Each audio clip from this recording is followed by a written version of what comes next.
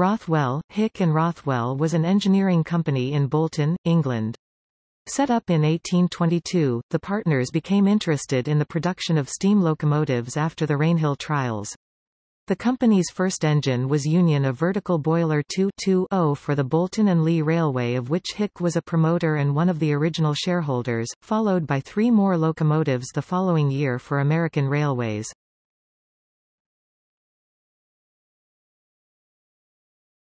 Topic. Rothwell and Company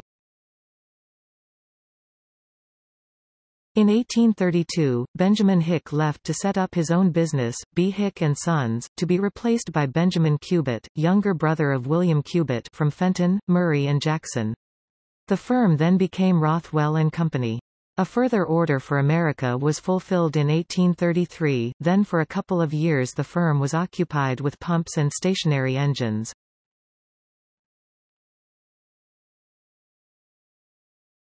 Topic. Locomotives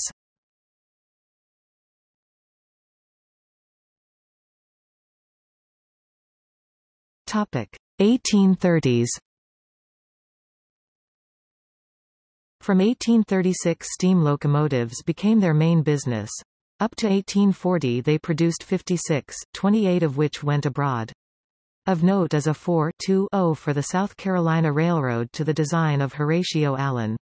This had 4-foot 6-inch (1.37 meters) drivers, with a swiveling front bogie, and reputed to have worked for 35 years.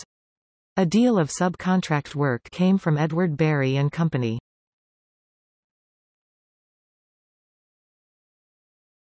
Topic 1840s. From 1841, the company began a batch of engines for the broad-gauge Great Western Railway. The largest order came in 1847 for two 8-2-2-2 engines for the London and South Western Railway.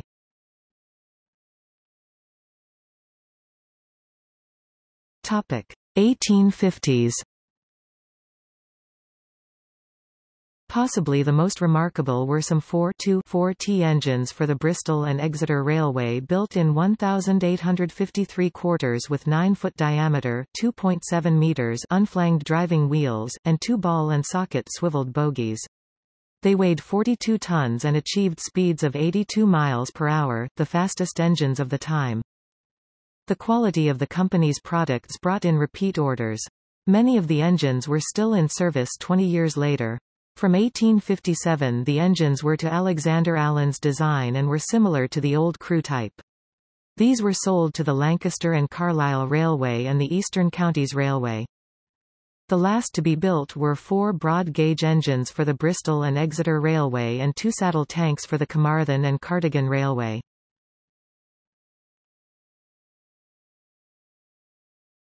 Topic. Closure In the face of reduced business and increasing competition, the company closed in 1864. Part of the works was taken over by the Bolton Iron and Steel Company, which was later absorbed by Henry Bessemer and Company in 1906. Topic see also Samuel Crompton Pontchartrain Railroad List of Saxon locomotives and Railcars List of Liverpool and Manchester Railway locomotives GWR Leo Class Abbey Mills Pumping Station W and J Galloway and Sons